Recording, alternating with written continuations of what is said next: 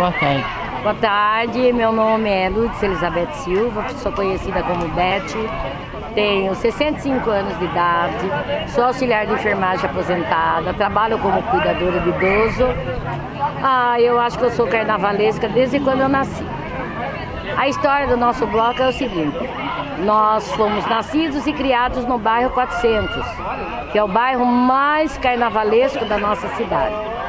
Desde que eu tinha meus 5 anos de idade, meu pai pegava a bateria do antigo toco e saía para dar uma volta de quarteirão com a gente.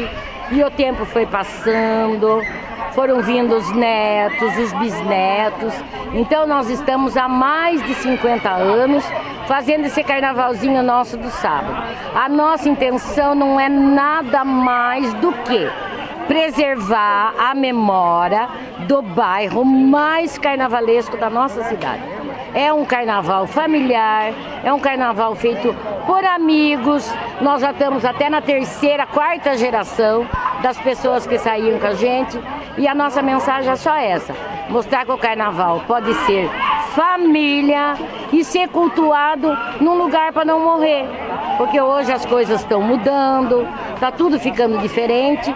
E se a gente deixar essa memória, que o bairro 400 foi famoso pelos carros alegóricos que ele fazia, navios reluzentes, cavalos de Troia, com os guerreiros saindo de dentro dos cavalos, um bairro muito rico.